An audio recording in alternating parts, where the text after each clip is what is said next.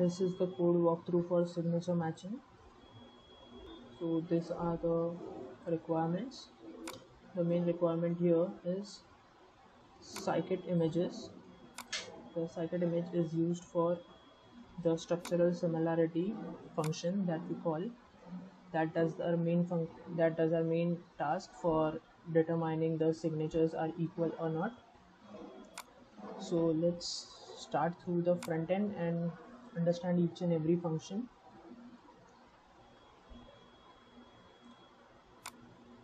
So let's first understand all the front end stuff. This is a tkinter or kinter whatever you call it. So here let's start from the main function. Root is equals to we have initialized the tkinter window. And for it to not auto close we have used this root dot main loop. So we will give this uh, this window is named as root because we have initialized and created an object here. So we have given a title of signature matching. We have given the dimensions. Then we come to the tag here the compare to images. So it was given by the label tag. Text and font we have set and the first parameter is the window that we set. We also use the placements that this is what we call it a static or something like that. Uh, yeah this is what we call a static positioning. We can also do the dynamic positioning by using some functions but uh, dynamic positioning does not look good. Then we have another label signature one this and this is the text field this text field is called as an entry entry widget using an entry widget and we can auto populate it. Also we can insert uh, the path manually through the file system. These are all the placement and other stuff. Now we are using button. So this button uses the image capture. So this capture image would take a live image whenever we capture it. So if we are using through a laptop or a computer the automatically selected is the default camera. We'll go through this function and explain it. Yeah. So this is your capture image we have used an uh, entry widget. That is the entry widget this so that it can auto populate the address or the part to the image that it captures right now. So how will we capture it? So if we select like uh, for sign 1 and sign 2 sign 1 and sign 2 what it means?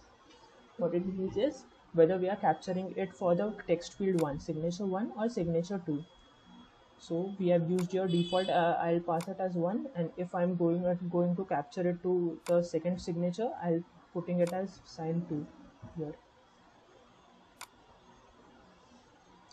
Now when we did the capture image whenever we go to the capture image thing what we do is first of all we get the current os.cwd is os.get current working directory we'll get the string of where the main file is located main.py because it is being executed through main. So this uh, default path would be we would be getting then we would be creating a new path. This is a new folder named temp and we will be storing it with the name test underscore image1 dot png. Whenever we capture this is just a file name that uh, this is just the string that we are constructing right now and we will directly pass it. Okay and then we will put the result like a click picture. So now when we get the message box that is the tkinter message box.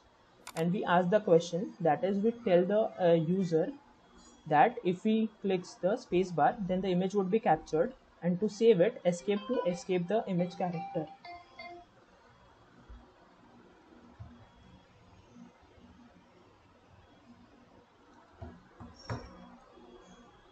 After this when the user presses yes that he is sure that it wants to click the picture then capture image from cam would be uh, the function would be invoked.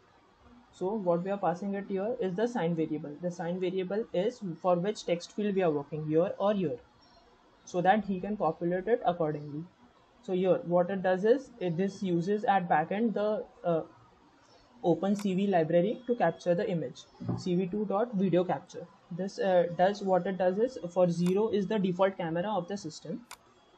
And capture.dshow means it uh, produces a live image like a live video is being recorded and only one frame of the video should be captured. So that uh, the image does not get captured as soon as the uh, user hits OK. So here we open an uh, open a new window named named window, and it continuously keeps on reflecting the output from the camera to the window so that live image is uh, live uh, you can it is similar to a mobile image. So whenever we capture it so this is an infinite loop that we are going through. We will break it only when we are sure that we have captured an image or the user has clicked on the exit button. So like a uh, return and frame these are the two variables that we get from the cam read so if re not return means if uh, we get false, this position can only occur fail to grab frame when the default camera is not working or you have not set the default camera. There is some problem with the hardware, this would occur. So this is just a fact checking or something like that. And then uh, the named window would be shown as the test name that we have seen here then for wait key means we are infinitely waiting for a key press of 27. 27 stands for the escape key. So whenever we hit on escape, we should break. Only then we should break. Otherwise, 32 stands for the space key.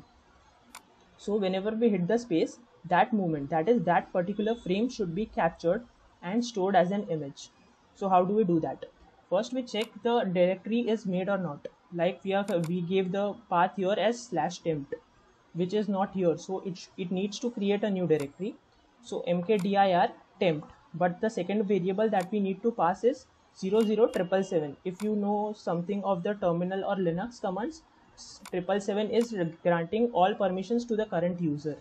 So if you are not signed in an, uh, as admin this line would give you error if you don't put mode as 00777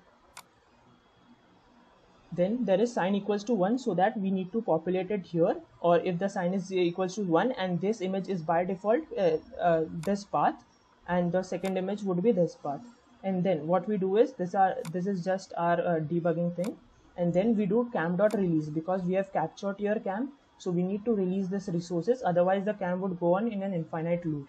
And then we destroy all windows of only the OpenCV and we return true that we have captured an image so when we went back from here capturing the image, we what we do is we first clear this text field because the user might want to change sometimes by doing browse. When the user might want to change, like see, I have uh, captured it here, so here it came. But now I want to select this image. So when I click on this, ent.delete would clear this entire text field and again insert a new field uh, that is the new selected image so that uh, it won't just override and give us the wrong result when we hit on compare. Same thing procedure goes with here. Then what we do is we click on the check similarity. What we this happens only when we click on compare button. But before this we will see a browse option. So what is browse option? For browse option we do the browse function and the entry that is the entry parameter here these needs to be filled out with the help of browse button when we click here. The selection window opens. So for this selection window opens we will go to the browse button. We have here the tkinter function again ask open file name. So what is what this happens is it helps us to select this browse button and select all types of files in it. If we don't put anything here it would by default select all file types. But what we are doing here is only these types of files should be selected JPEG, JPG and PNG and all the image format should be all the file types should be image image and image only. Only then we can compare it. So now we are coming here to the browse button. Now after that we have selected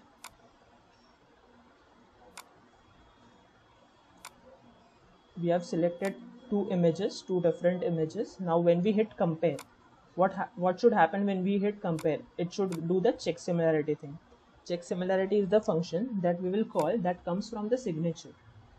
That uh, comes from the signature.py file. So what it does at the backend is we pass the window because whenever we want to when we pass the window equals to root we want to display some uh, image on this or we want to display some kind of message on this. So we need to pass on this window and there's the path 1 and the path 2 entry that is entry.get this is by default uh, some kind of object. But when we do it dot get the string inside it would be passed with the help of it. And these are the two parts that we need to compare. The two parts to the image. So when we hit check similarity it goes to this window. We get it. We are not using window here because we won't be destroying the window here.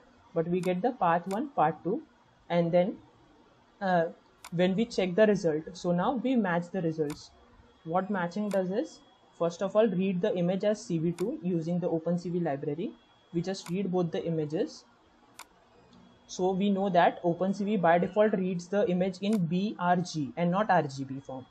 It is always BRG form. So what we do is there might be some noises in the image. So that to eliminate those noises, first we uh, turn uh, the images to grayscale so after turning it to the grayscale the uh, the differences due to colors will get eliminated and only the image would be there in the form of 1010 that we known as binary but it would be not be proper binary. For binarification there is another function in OpenCV which we are not using here. Then after converting the gray images to grayscale now we need to uh, the other similarity uh, matrix uh, as we know that the similarity checking at the backend uses some kind of matrix comparison. So while comparison of the matrix if the matrix size is different then we would get a totally different answer which we are not expecting. So for that we resize the image to 300 by 300 pixels only. So once we have done that uh, we have normalized this image. This process is basically normalizing the image for comparison. Now what we do is we for for the final time we show the user that these are the normalized images that we are going to compare. So that user also has a sense of uh, a sense of thing that uh, these two images are the correct images that are being compared. Like for example see here. This one and this two.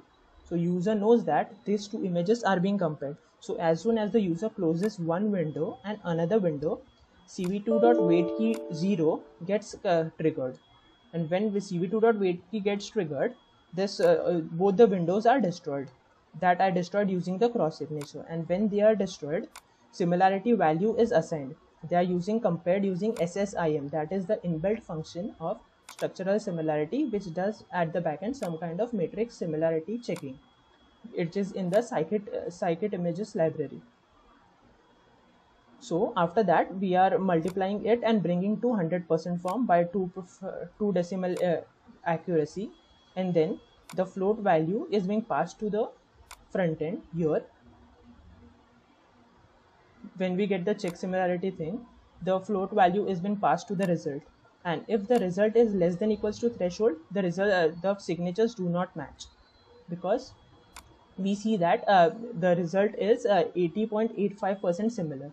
So if, if, the signatures are 80.85% similar we do not consider them as uh, similar images. Why? Because this this is just a value that i uh, derived through trial and error but you can change the, the threshold. I have mentioned the threshold here which is 85 percent.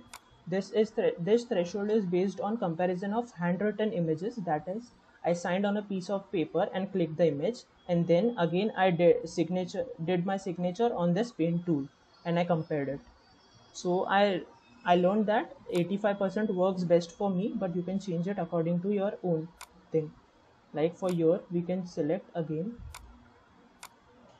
browse we can select image 3 and image 3 again and we can compare. Now these two images are being compared.